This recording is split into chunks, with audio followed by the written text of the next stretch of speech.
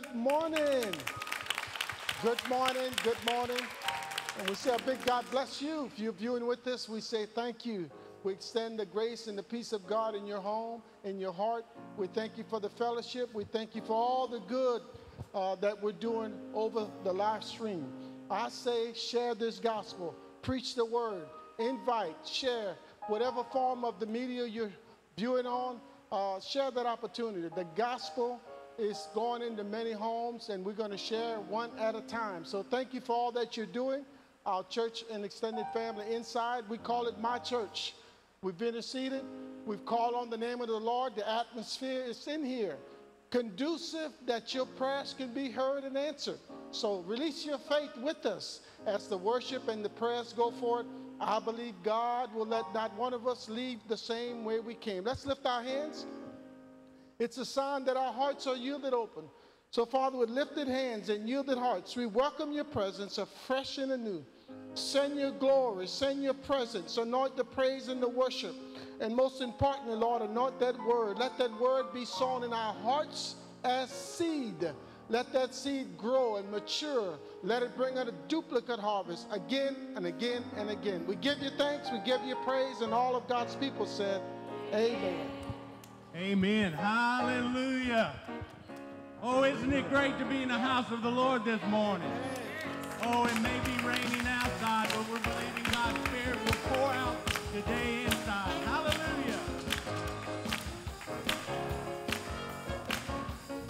Glorify the Lord. Glorify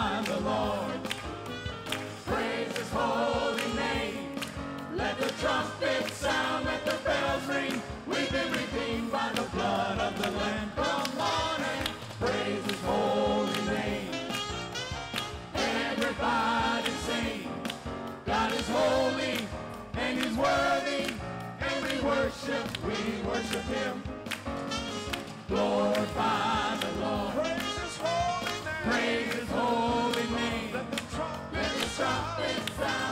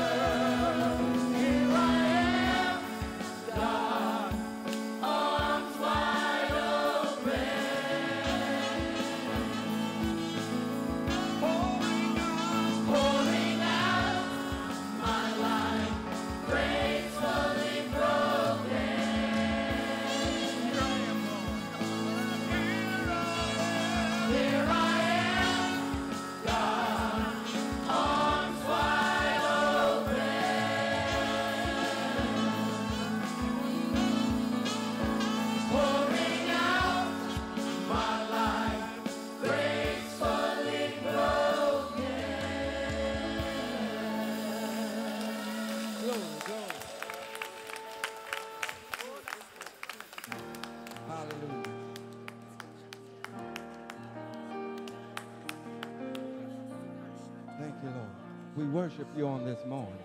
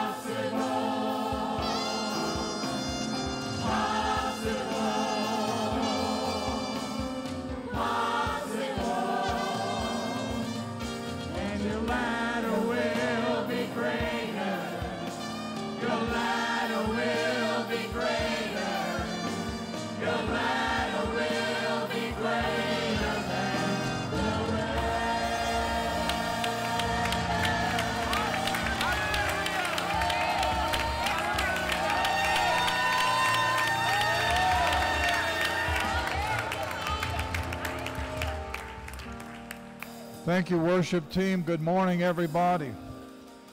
Before we seated today, I'd like to pray a prayer for you.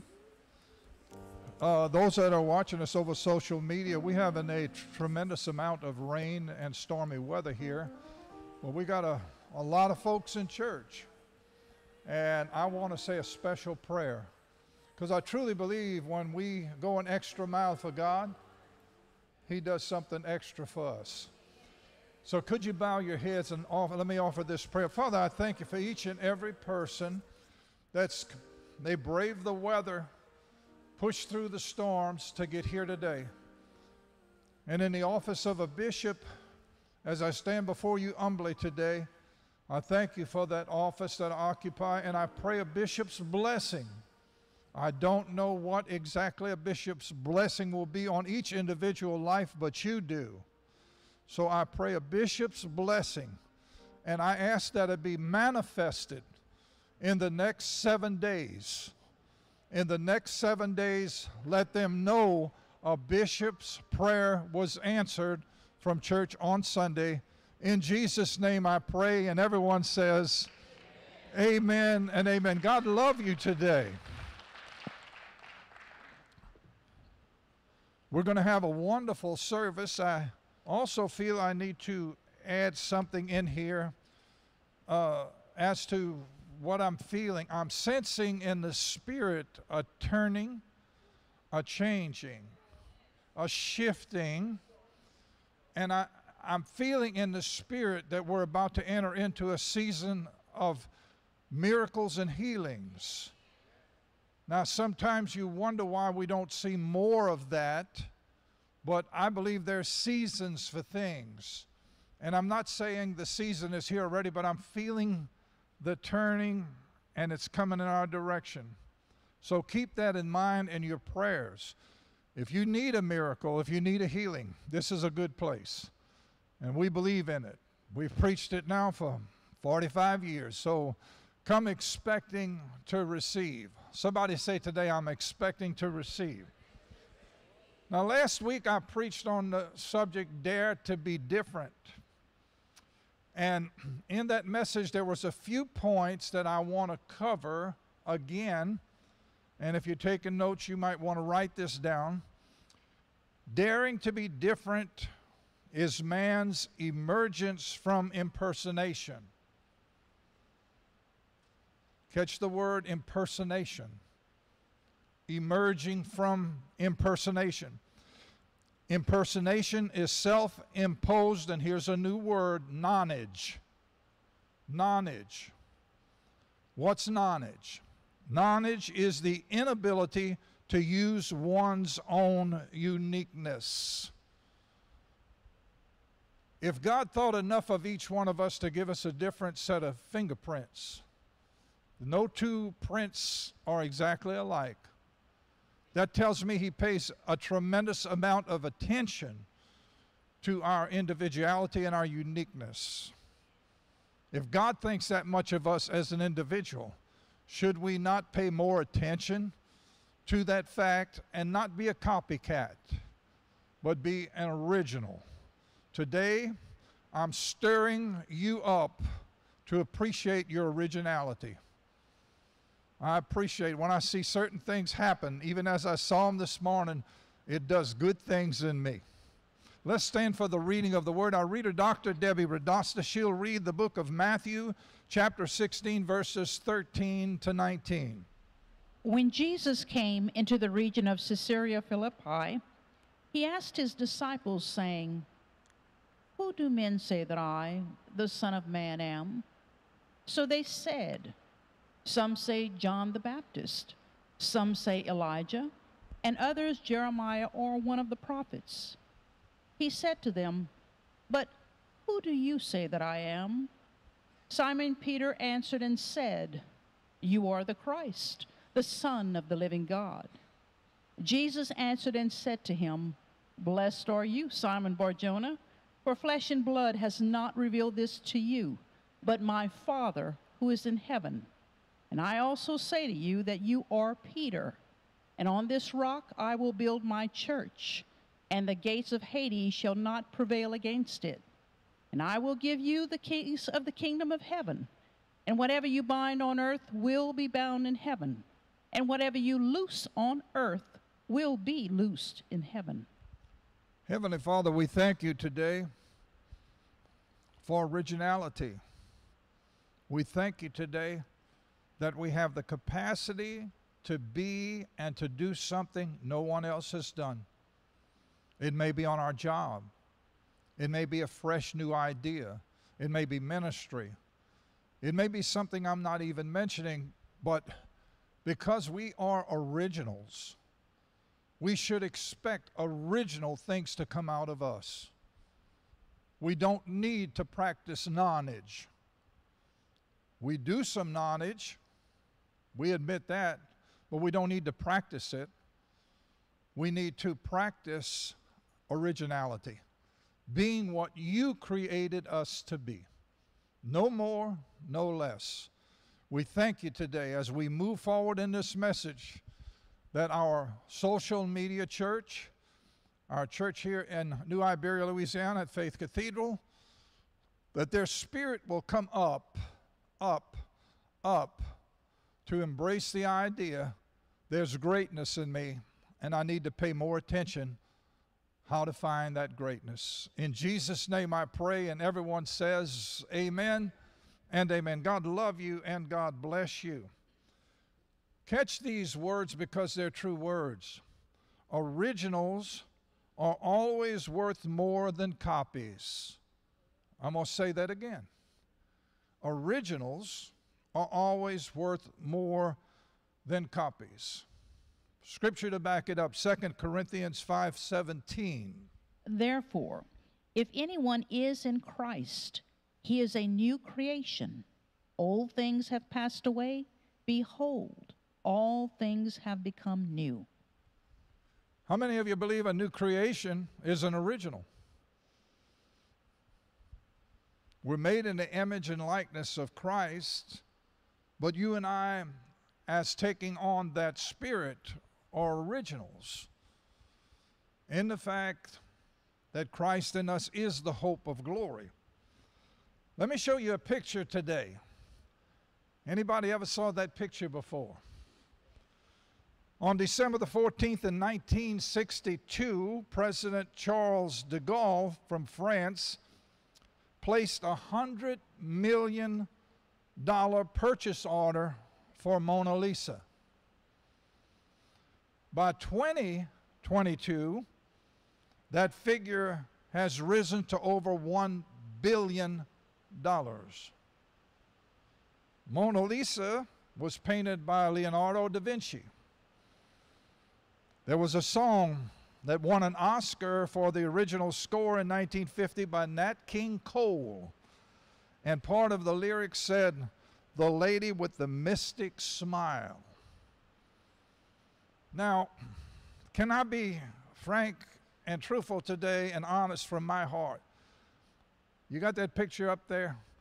I never saw that as a real beautiful woman. You say, well, a lot of people think that's she's scrumptious, she's the most beautiful.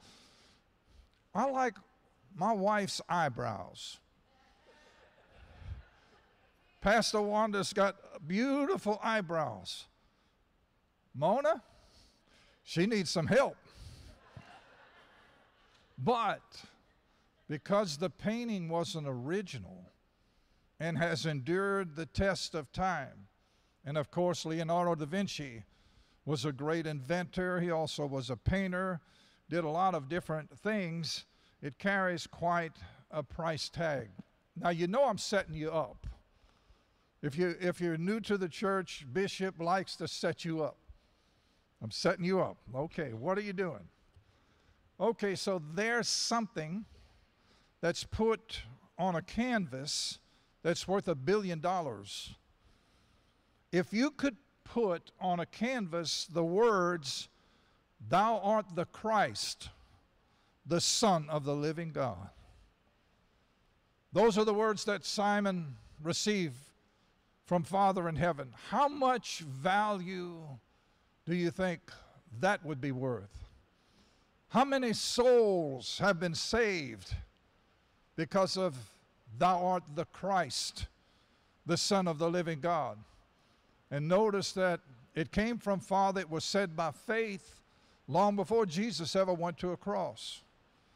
And what a reward it is as Simon discovered the reality of Jesus the Christ, the Son of the living God, and what has happened over time and what is still happening, not only in the world, but to us, even those of us who have accepted Jesus as our Lord and Savior, there's still wonderful things that are taking place. I have to say it for the record. Some folks think being a Christian is boring.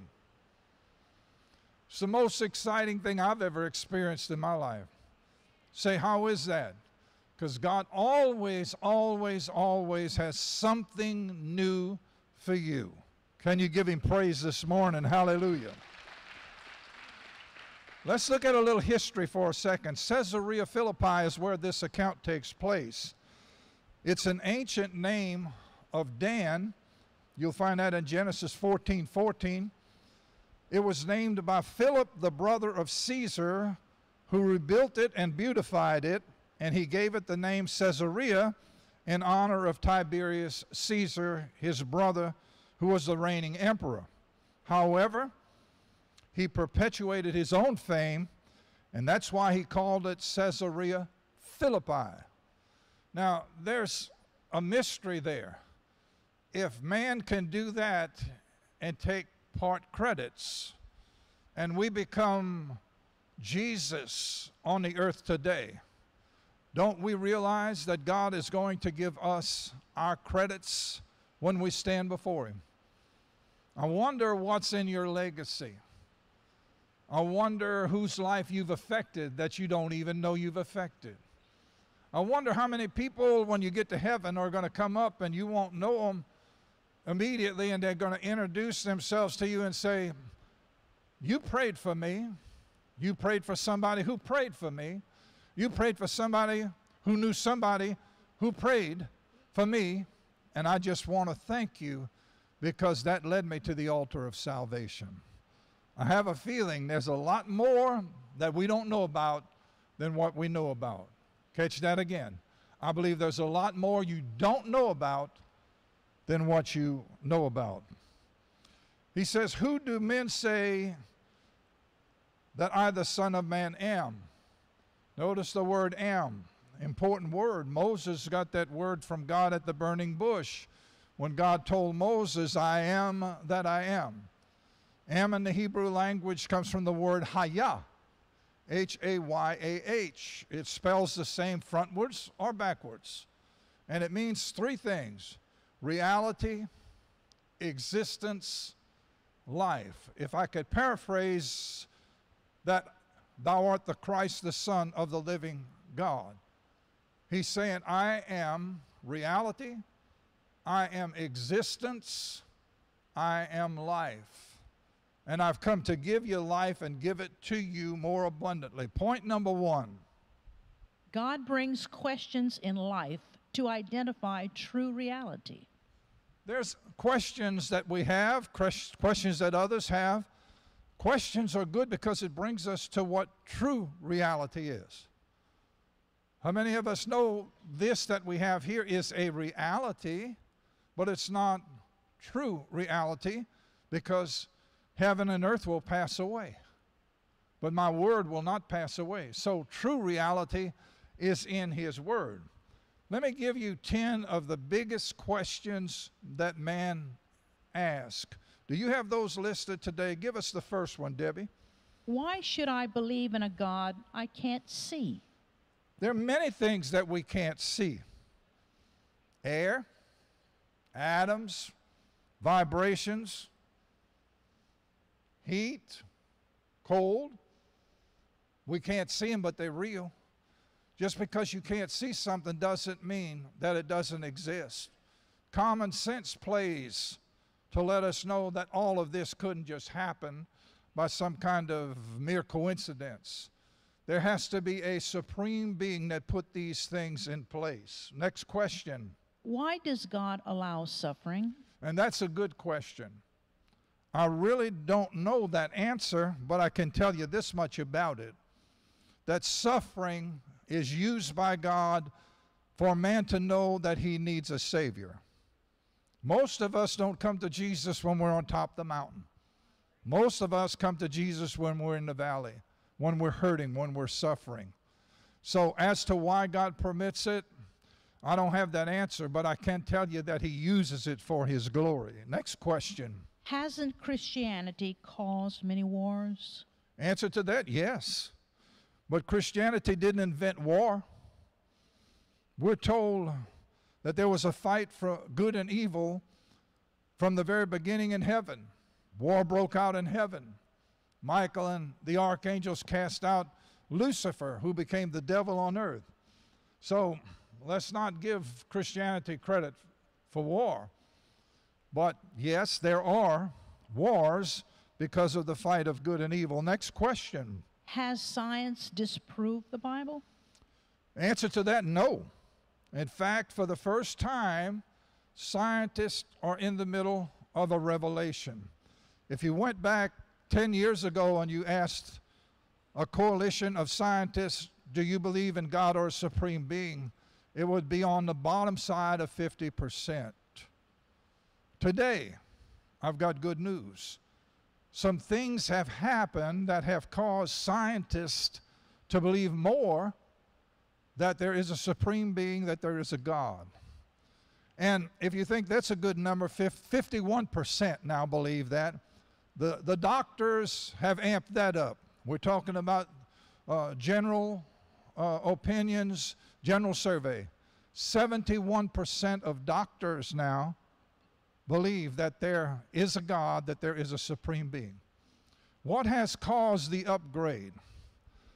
God does things in mysterious ways. Say that with me as a church. God does things in a mysterious way.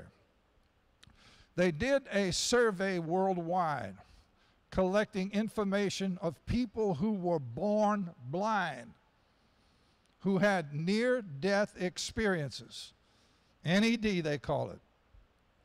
These people who were born blind had all kinds of things to talk about when they were resuscitated. They saw things. They saw parents. Some of them saw heaven. Some of them saw many things. Some of them saw the doctors that were working to revive them. But there's a problem. How many of you heard there? Houston, there's a problem. How do people who have never seen tell you something they see? Think of what I'm saying no eyesight, never saw anything on this earth, but they're having all of these supernatural things that have happened, and they've compiled the information worldwide. It's into the thousands, and it has caused the science world and the medical world to really and truly now tip the scale and believe that there's a God. How many of you believe there's God? How many of you want to stand and give God praise for Jesus today? Hallelujah.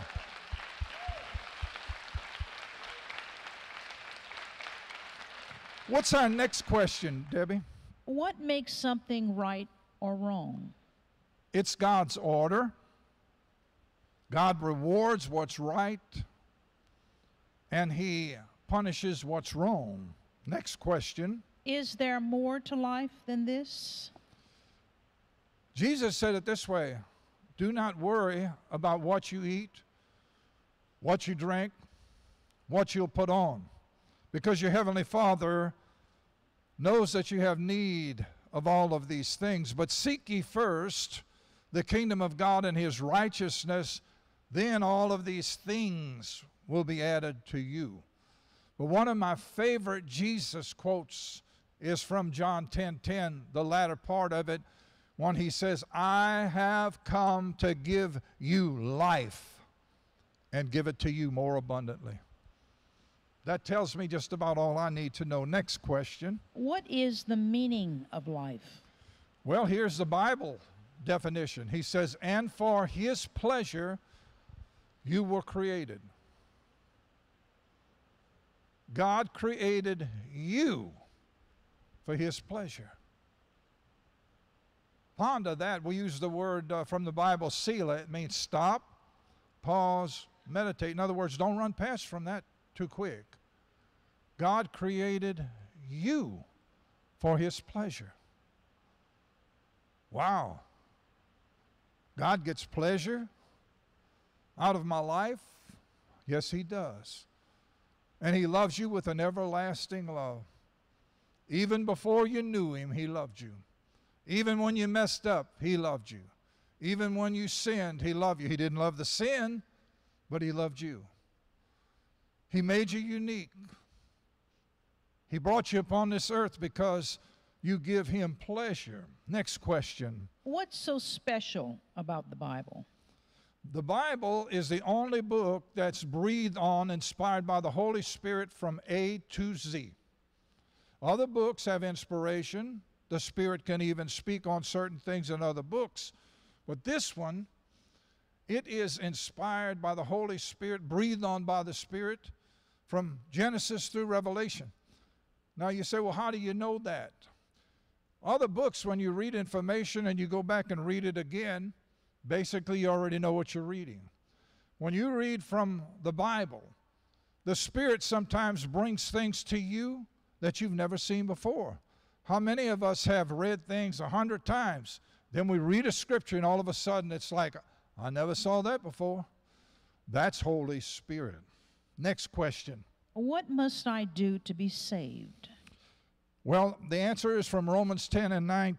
9. It says, Confess with your mouth the Lord Jesus, believe in your heart that God raised him from the dead, and you shall be saved. So I speak to our media church out there.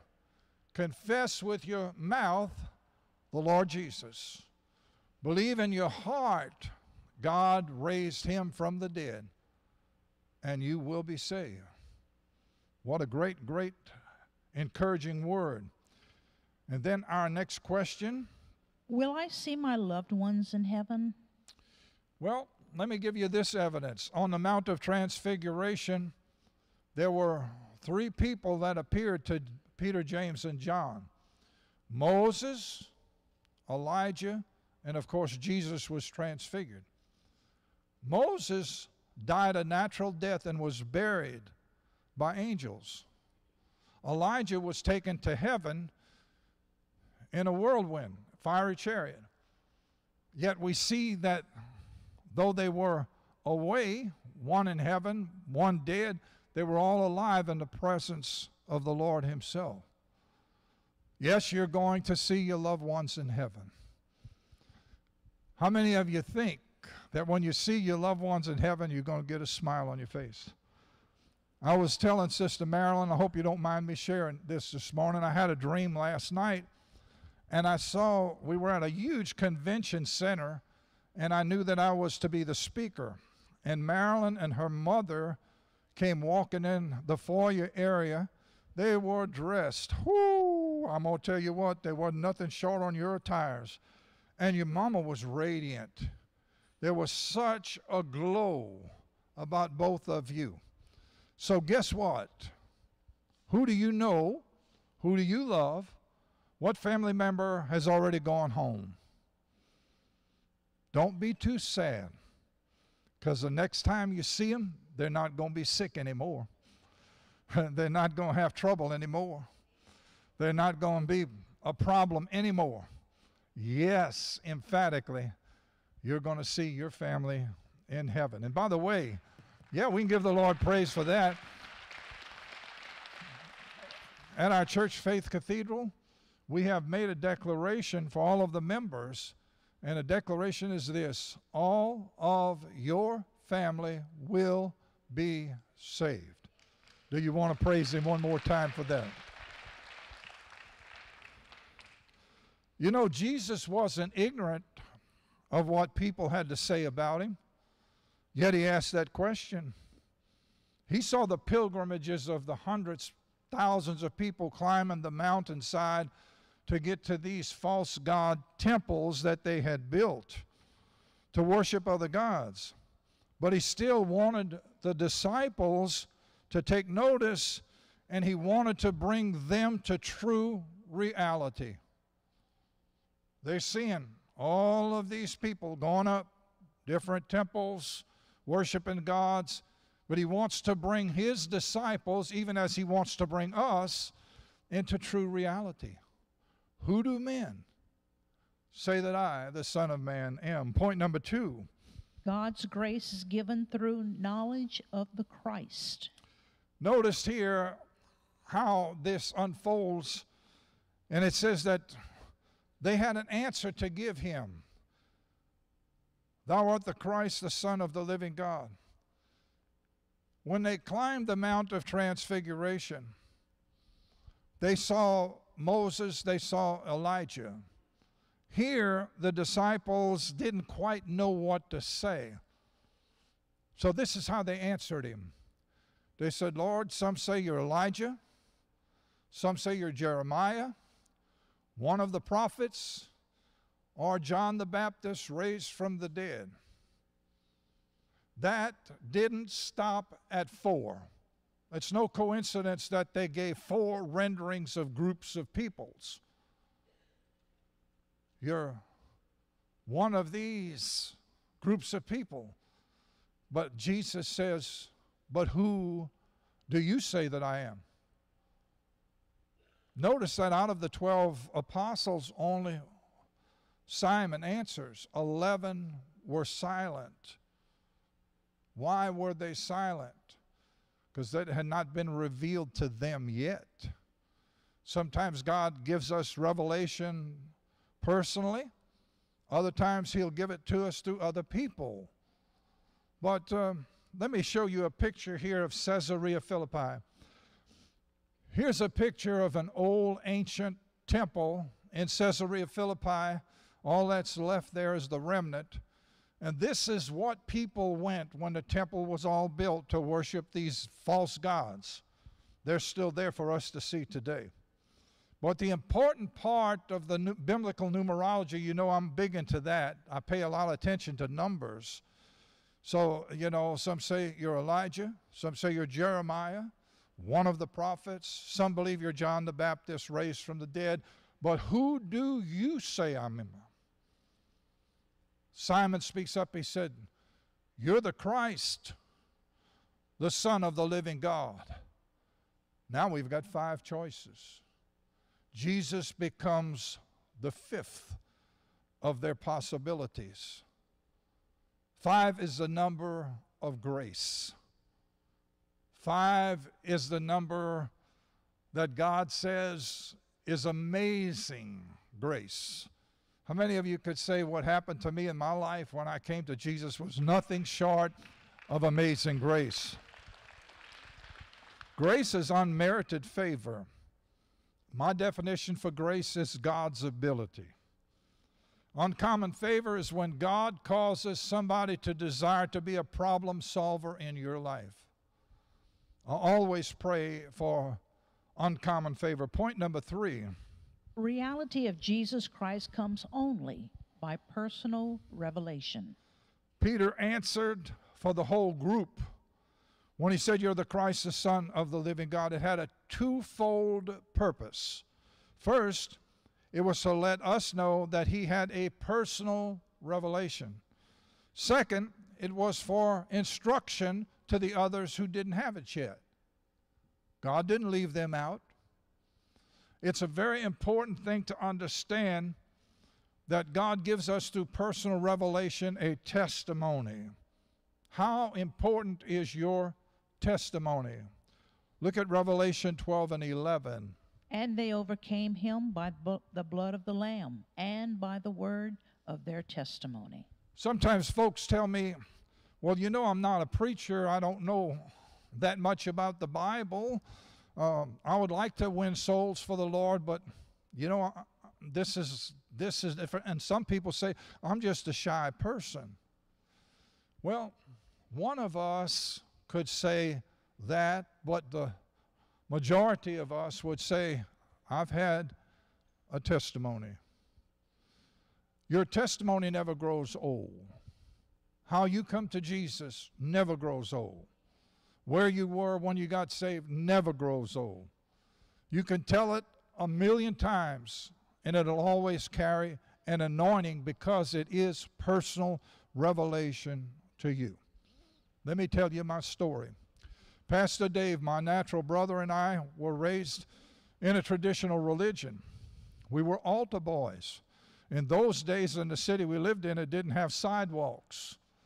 So Daddy would not let us ride our bicycles to church. We served as altar boys, except if we went on the levee. So we would climb the levee, get on the levee, and we would pedal our bikes for a couple of miles to get to the church as altar boys. Later, when I was 12 years old, I was confirmed. A bishop from New Orleans came and did the confir- confirmation. We were what you would call religious, but I can tell you for a truth there's a big difference between being religious and being born again. When I got older, into my early 20s, I quit going to church, but something happened that would change the course of my life. Many times, suffering, traumatic experiences, God allows that to happen to change the course and the direction that we take. I uh, had an accident. I was put into the hospital. At that time, I was district manager of an insurance company in New Orleans. That was a good job. They did the first surgery, it was not totally successful. They had to do a second surgery. I spent 50 days in the hospital. On the day I was to have my second surgery, my big boss, regional director, came and told me he was putting me on disability because they had to have a manager to run the office. Bottom line is, is my paycheck went from over a thousand a week down to 125. When I got out of the hospital, by the way, the hospital was Mercy Hospital in New Orleans. Boy, I needed mercy at that time too. When I got out the hospital, the reality began to set in me. You cannot balance a budget that you're used to spending a thousand a week with with 125. It don't work. And I was getting very depressed. I was so depressed. I owned race horses. I had five race horses with my cousin. And I say it in humor now. We had a stakes winner. Uh, this horse made a couple hundred thousand dollars for us. But when God put his finger on me, that horse couldn't have won a potato sack race. God stopped everything. Down to 125 a week, race horses not winning. It all came to a screeching halt. I was in depression. I went to the stable. My, my cousin was there that morning, and I said, Lou, I said, man, I, I feel like I'm having a nervous breakdown. Lou scratches his head, and he's a big fellow like I am, nice man. And Lou said, Well, sound like you need some religion. I said, Where do I find it? Scratched his head again. He said, I don't know, but I see a lot of cars at that Faith Church on Read Boulevard in New Orleans here. So why why why I am so partial to Wednesdays services? It was a Wednesday that I made my way to Faith Church in New Orleans. Dr. Charles Green was the speaker. He spoke a great message. Numbers of people came to the altar for salvation, so did I. And when I got down to that altar, I could only bend one knee because of the back surgery. I was on crutches. So I put one knee down. I had to leave the other one straight. And boy, I mean, I was serious with God. I was more serious with Him than I'd ever been before. And I said, Lord, if you get me out of the mess I'm in, I'll give you the rest of my life. And I meant it from the fibers of my being. The rest of us got up to be dismissed, and I had another quick moment. I went back to the altar. The rest were leaving to go into another room where they could receive more counsel. I knelt down and I said, Lord, if you get me out of this mess, I'll take a job that nobody else wants. My word to you be careful what you tell God. That testimony will be anointed all the way into eternity. That's my testimony. But you've got a testimony. Your testimony is the reality that Jesus is alive. Your, your testimony is the reality that God takes messes and turns them into miracles. I can't tell you that I had some instantaneous, super duper miracle with all of the back surgeries and all. I can tell you this I never had the third one. They were talking about doing a total fusion on my back. Till this day, I've never had the third one. From that point at that altar, I started getting better and better and better. And God was blessing me. And in, in a short time, with $125 a week, He met every single needs. He also let my racehorses start winning before He convicted me. And then I had to give my racehorses away. But it was nice for a little while. But uh, anyway, the point being is this what was true reality? What's true reality in your life? What's really real? It's not about this. It's not about houses and cars, jobs. It's not about clothes, food. It's not about entertainment. All of this stuff is going to come to an end. True reality is all about Jesus Christ. Jesus Christ, the same yesterday, today, and forever. Jesus Christ, the lover of your soul. For God so loved the world that he gave his only begotten Son, that whosoever believeth in him should not perish, but have everlasting life. For God didn't send his Son into the world to condemn the world, but that the world by him could be saved. He loved you. He loves you. No one can give more than their life.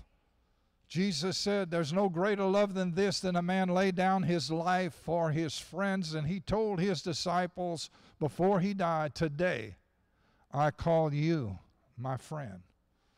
He knew he was going to lay that life down, but not just for those disciples, for you, for me. So, why should we think less of ourselves? You're unique. You're beautiful. Everything is beautiful in its own time. Why should I be depressed over the goings on that's in the world? The world will always have its traumas. I should be overjoyed because my name is written in the Lamb's book of life. And I have a testimony that nobody ever had or ever will have, just like my testimony. Does it make you feel good? Can you praise Him one more time today? Point number four You must be born again to see and enter the kingdom of God. let's just continue reading John 3 1 through 8. There was a man of the Pharisees named Nicodemus, a ruler of the Jews. This man came to Jesus by night and said to him, Rabbi, we know that you are a teacher come from God. But no one can do these signs that you do unless God is with him. Jesus answered and said to him, Most assuredly, I say to you, unless one is born again, he cannot see the kingdom of God. Nicodemus said to him, How can a man be born when he is old? Can he enter a second time into his mother's womb and be born? Jesus answered, Most assuredly, I say to you, unless one is born of water and the Spirit, he cannot enter the kingdom of God. That which is born of the flesh is flesh, and that which is born of the Spirit is spirit. Do not marvel that I said to you, You must be born again. The wind blows where it wishes, and you hear the sound of it, but cannot tell where it comes from and where it goes. So is everyone who is born, of, the, Spirit. What are the keys that he promised Simon?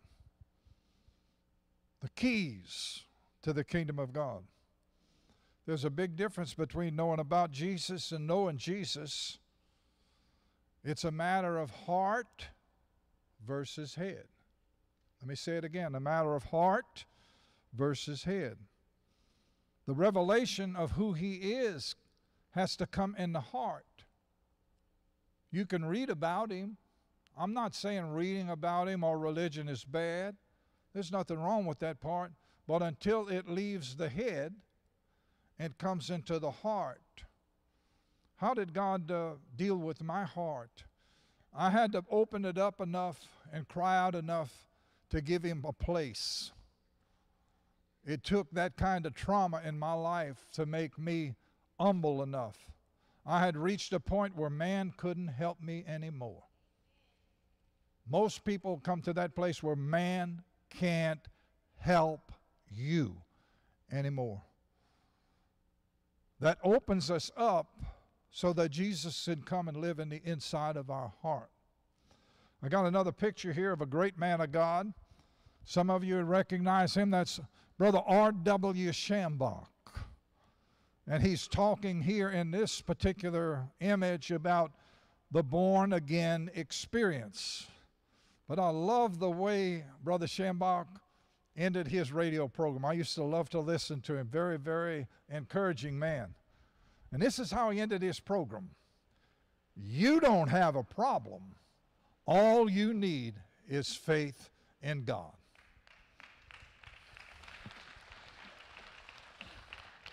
Point number five. The reward for revelation of Jesus are the keys to the kingdom. And we've got a picture of keys. Some people think because he mentions binding and loosening that there's only two keys. No. All of the keys are relative to those two particular things, but there's many, many keys. I want to read again from uh, Matthew 16 and 19, but from the Amplified Bible, it gives us a little clarity. Debbie? I will give you the keys of the kingdom of heaven, and whatever you bind, declare to be improper and unlawful on earth, must be what is already bound in heaven, and whatever you loose, declare lawful on earth, must be what is already loosed in heaven. So he brings into the picture there's many keys, but whatever you use as a key for whatever it is that you need, it has to be lawful in heaven. Now, here's another thing that usually when we talk about binding and loosening, folks grab the word binding and you hear people praying all the time, Boy, I bind that devil. I bind this. I bind that. But let me give you another instance of binding. How many of you believe there's love in heaven? How about binding some of heaven's love? How many of you believe that there's a lot of good things in heaven?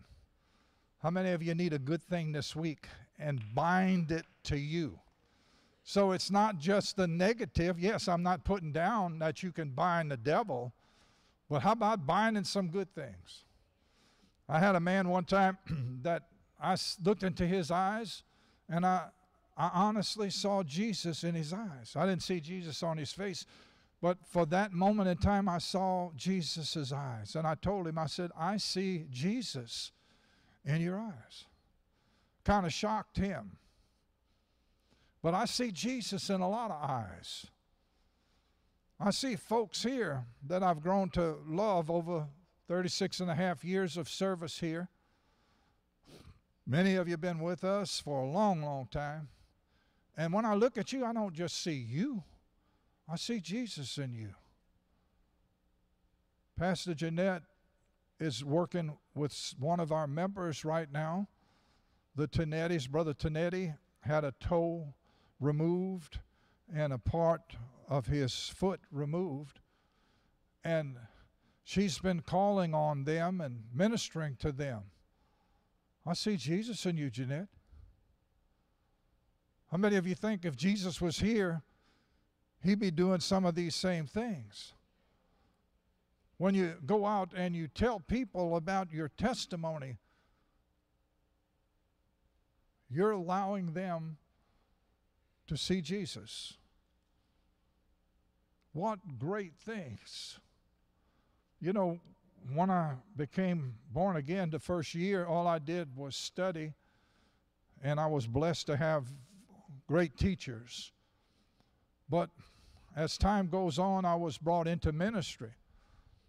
And they were talking about, at the time that I had the accident, my name was already uh, being brought up to be the youngest regional director in the history of that insurance company. Of course, the accident stopped that. But that's a high, high, big, big paying job. I tell you for a truth, I wouldn't trade all of the insurance regional director salaries in the whole world for what I've experienced as a minister for Jesus Christ.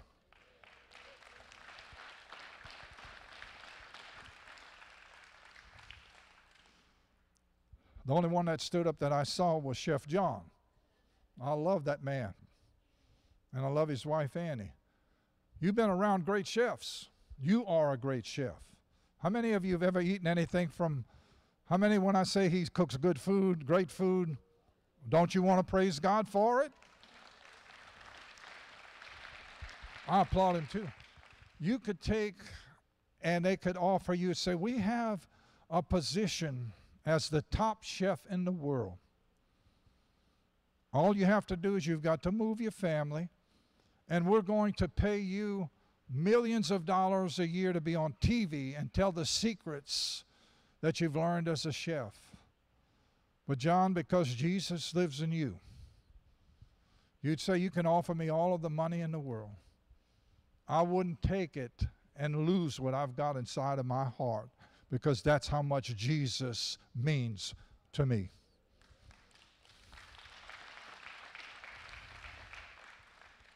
Here's another example. This is going to make Pastor Sampy smile. Put that next picture up there. You know, you know who that is?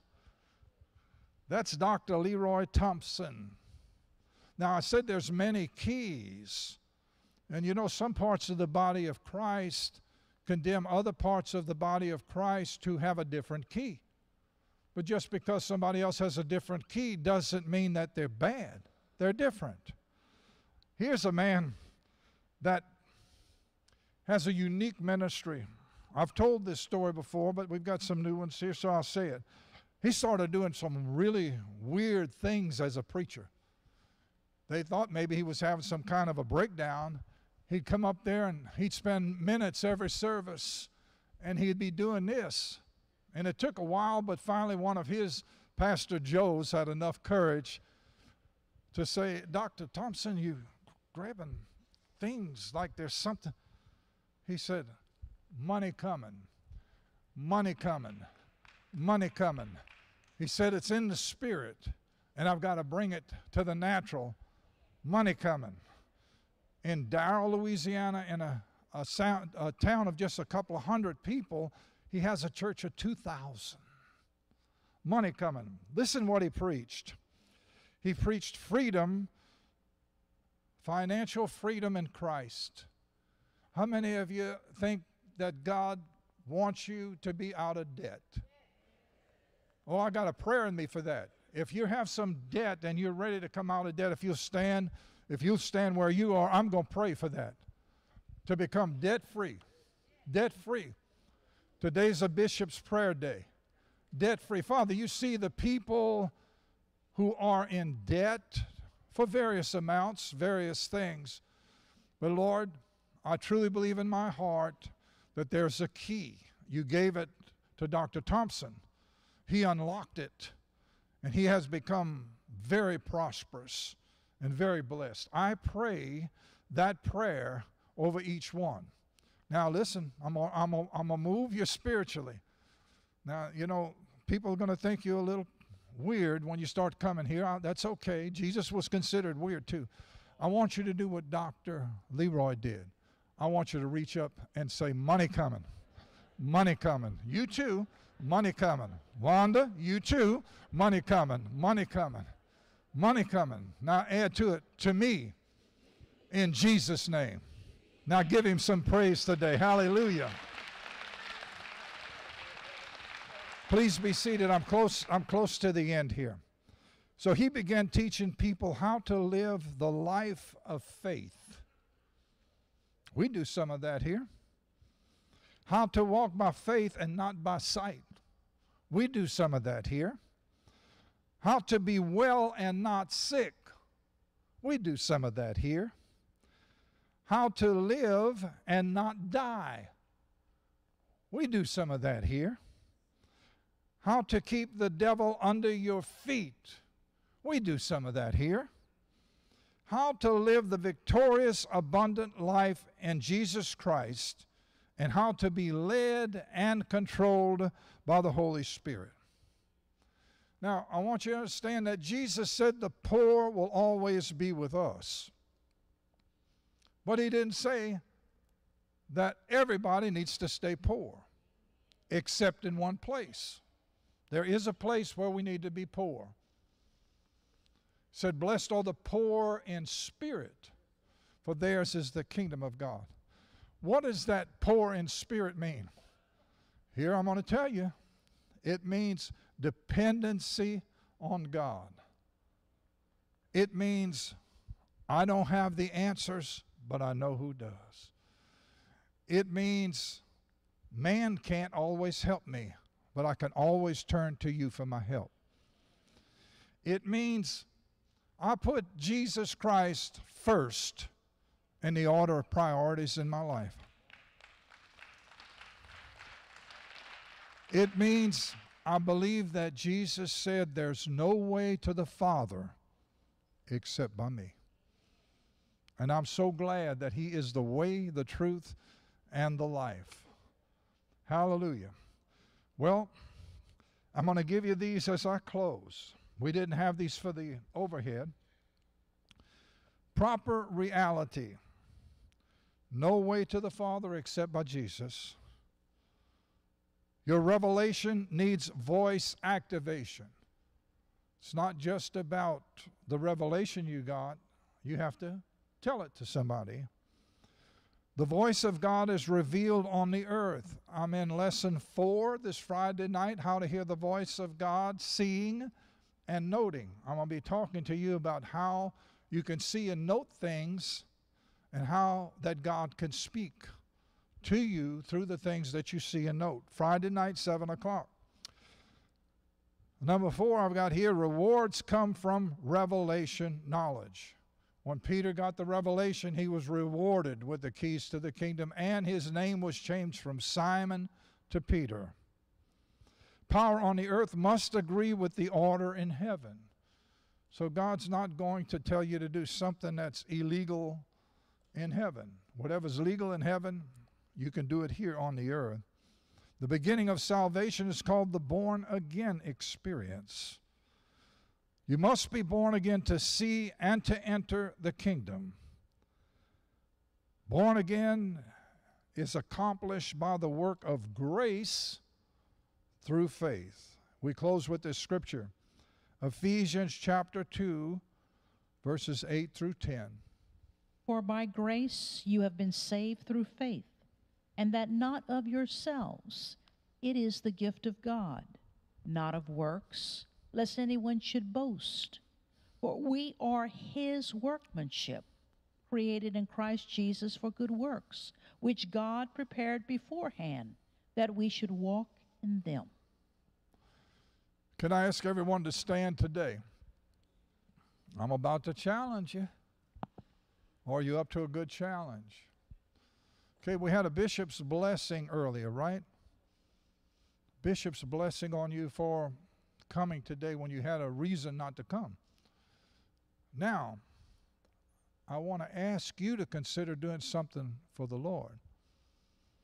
I'm asking for commitments to take your testimony, and I'm not putting a time limit on this, so it can be 30 days, it can be the rest of the year, whatever is good with your spirit.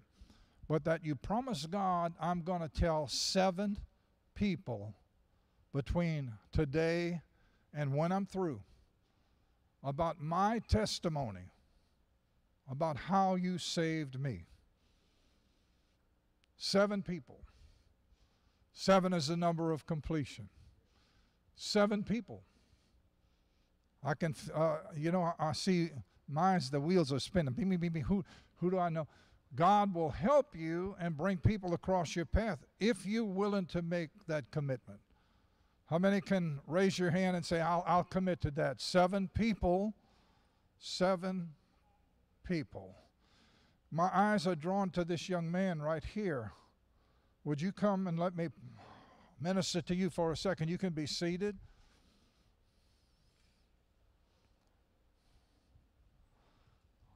What is this? A new, a new, a new fad? Come on up here. A one color. You know, I'm, I'm a big lady, uh, LSU ladies basketball fan, and uh, they they got a lady right now, uh, Angel Reese, and she wears one color on one leg, and then she don't wear any color on the other leg, just her skin. So I guess that's okay. I guess it's something about the athletes. I guess it's something about the athletes. Uh-huh. You're an athlete, right? Yes, sir. What, do- what do you play? What do you do? I play football for Westgate High School. Okay, and what position? Receiver. I'm the one who caught that one hand catch. Oh, that's right. I thought your face looked familiar. Hey. I'm glad you came back back to church. Did you enjoy the service today? Yes, sir, I did. And there's greatness in you. Man, what a catch. What a catch. You made me shout. Boy, what a catch. Did you have glue in that hand or something? Mm, on that one. Oh, I'm going to hold this one for a while. I'm going to get some of that. Stick 'em. God says to get ready because your unique will so make a place for you. Some have told you you're too little, you're not big enough. But I say, David was little and he took down Goliath. You will take down Goliath. I will give you the anointing to do things that big people will be envious of. You will have agility and speed and other things, the abilities to perform under pressure that others would be envious of. Because this day I am anointing you, says the Lord. I am anointing you for the originality in your life because you love me and you will never leave me, says the Lord. And because you've been willing to say, I will talk to seven people about my testimony, I'm going to bring much blessing to you, even on this year. Today, you are a blessed child of God. Amen. Okay, if you raised your hand before, stand one more time. I'm about to turn it over to you, Frank. You can join me up here. Oh, I don't know if y'all got happy. Did you get happy today? I sure did. I guess Trevor's going to catch it on the on the YouTube. He's going to get happy. But I, I really, really feel it deep in my soul that God's about to turn this thing up. I believe I believe you're going to be surprised. Some of the people you tell your testimony to, they're going to ask you to pray for them. And when they ask you to pray for them, expect to get a miracle. There's something about expectation. I, I brought it uh, to some earlier. I said, you know, under the tent, we used to get miracles by the bushels. But when you become a church pastor, the miracles don't seem as many. I'm not saying we don't get some, but I mean, we'd have church. We never hardly ever had a church service under the tent where we didn't see a miracle. Somebody come out of a wheelchair, blind eyes open, different things happen. You don't see so many in the church, and I've had it in my spirit. Why? Why? And I truly believe God's speaking into my spirit because the expectancy level. People get in accustomed to going to a church, but when they come under a tent, their expectancy is so great. I'm praying for your expectancy. You've agreed to seven people. I'm expecting that your expectancy is going to be up, and when you tell your testimony, something's going to happen. Won't be surprised if he don't bring a few of his buddies from the football team to church with him and say, You got to come hear this man. Got to come hear this old preacher. Father, I thank you and I praise you. Say the word with me three times expectancy, Expectancy. Expectancy. Lord, when they give that testimony, they've promised to tell seven people over a period of time. But there's not just going to be words, it's going to be anointed. And the people that hear their testimony are never going to be the same again. And we're not waiting till after the fact to thank you. But we're thanking you before we even give the first testimony because we believe and we expect something big is about to happen. In Jesus' name, and we say, Amen. Give the Lord praise. Pastor Frank. Hallelujah. Hallelujah. Wonderful. Wonderful. Good morning, everyone, and welcome to the storehouse. So we li- we are dwelling in a storehouse. It's a physical storehouse, and uh, it's we have that word found in Malachi chapter three, and that's the word today, storehouse. So those of you who are unfamiliar with what we um, how we do this, we we use a word every for every offering, and it's a word that uh, we name our offering. So today, if you have it using the envelopes that are in, included in the uh, the bulletin or in the pew in front of you, just write that word somewhere on there. If you're writing a check, please write it on the check.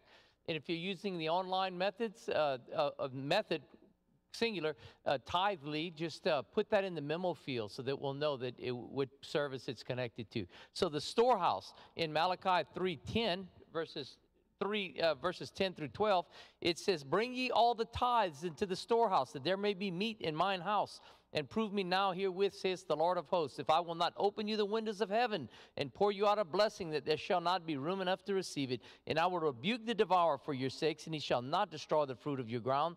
Neither shall your vine cast her fruit before the time in the field, saith the Lord of hosts. And all nations shall call you blessed, for ye shall be a delightsome land, saith the Lord of hosts. So we, the, in the first verse, in the first sentence, it says, "Bring ye all the tithes into the storehouse." The storehouse. So this is a storehouse. We're a church, and what, what are we storing here? It's a storehouse of the word. Let's have that. A storehouse of the word, preaching the word. A storehouse of love. A storehouse of kindness. A storehouse of brothers and sisters in Christ, all of you. And then those of you watching by the online methods a storehouse of comfort. How many times we need comfort and we, we find our, our, our uh, solace in the, in the sanctuary with our brothers and sisters? A storehouse of support in bad times, a storehouse of prayer, a storehouse of goodness, a storehouse of guidance, a storehouse of unity, a storehouse of preaching the shed blood of Jesus Christ, and finally, a storehouse of preaching the gospel to every creature. And that's what it's all about. And that's not an exhaustive list, that's just some of the things that our church, the church, my church, that we come together and store in this place amongst amongst all of you a storehouse it's not only just for, to provide you know pay the bills but that's a big part of it is to preach the gospel all those things that we derive benefit of by being a being part of the congregation. So the word today is storehouse. Those of you watching um, online by the YouTube, Facebook, and uh, live stream, if you would please use your platform and put a positive uh, um, signal on there, either a thumbs up or a like, a share, subscribe, a bell notification. Please do those things for us. It's very important. And it does work because we seeing the numbers increase and increase. So we thank God for that. We thank God that the, the, this, these cameras and all the equipment associated with it, and mostly all the people that are associated with that ministry that it, that this signal goes out to the world and fulfilling the, the, the uh, order of the Lord, huh? Uh, Commander in Chief, as he's leaving, he gives us his orders, and we're fulfilling that with the help of you. So we want to thank every one of you, each and every one of you, for your continued support of Faith Cathedral Ministry. We thank you for the, on, the online people for that same thing. So uh, as I was talking, the online people, you'd see these little slides pop up. It'll give you the three ways that you can get your tithe and offering to the to the church. Either bring it by mailing it or using the Tithely program, which I mentioned earlier, the T-I-T-H-E dot L-Y. Look it up on the, on the search engine or go to the App Store. Very easy, or you can text the, uh, the word GIVE to 318-257-6462, and you can get a link. It's very convenient and uh, works just fine. So we thank you again, and we want to, in the sanctuary, we're going to send the blessing over the cameras and into the fiber optics and into the world when we're going to uh, dismiss our online audience. And we thank you, Lord. We thank you for the, for the ability and the provision that you've provided, Lord, for getting this word out into the world, Lord. We thank you, Father. We're obedient to your word, and you, we thank you and we give it all back to you. We bless these people as they go in Jesus' name. Amen and goodbye.